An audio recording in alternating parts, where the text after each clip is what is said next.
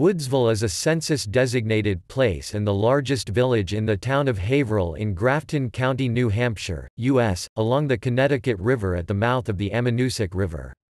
The population was 1,126 at the 2010 census.